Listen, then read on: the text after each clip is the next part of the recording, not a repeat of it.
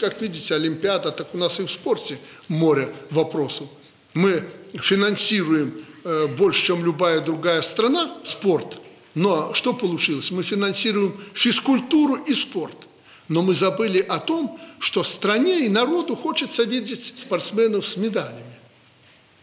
И надо из всей этой массы физкультурно-спортивной, которую мы вкладываем огромные деньги, выбирать тех команды, спортсменов отдельных и вкладывать в них средства, которые завтра дадут результат. Вот это не сделано. Поэтому вроде и неплохо. Все занимаются спортом, а медалей нет. Почему? Потому что не вкладываем, вот зерна эти не выбираем и не взращиваем их. Поэтому вот эта социальная сфера нуждается э, в серьезной реформе. И я часто говорю, знаете, почему мы порой в спорте не выигрываем, еще где-то в образовании кто-то говорит плохо, хорошо. Не голодные. Я смотрю вот эти страны, африканские, разрушенные страны. Возьмите Сербию. Да, талантливая нация, ну, такая, как мы. Но почему результаты такие?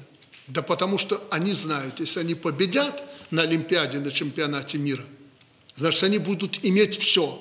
Не победят, будут где-то шататься, кусок хлеба искать. А мы всех поддерживаем.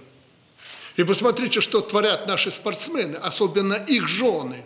В чемпионате футбола люди получали огромные суммы денег. А зачем женам работать? Они сидят и тычат в эти айфоны. И все забочебесились. От безделия. Это не только мой вывод. Есть люди, которые наблюдают за этими процессами, и мне прямо говорят, кому мы деньги платим. Я не против. Талантливый, привез славу стране, медали, ордена, получай. Получай все. Вот тебе земельный участок, вот тебе э, строй дом, вот тебе за твою медаль э, большие деньги. Мы платим. Слушайте, а некоторые страны не платят за победу на Олимпиаде, допустим. Вот как Норвегия. Богатейшая страна. Богатейшая они не платят, а спортсмен выступает и считает, э, и, и медали уже есть, считает, что это за честь выступать за свою страну. А мы все это перевели в деньги. Я не против спортсмен, настоящий спортсмен, который выдает результат, он должен жить хорошо.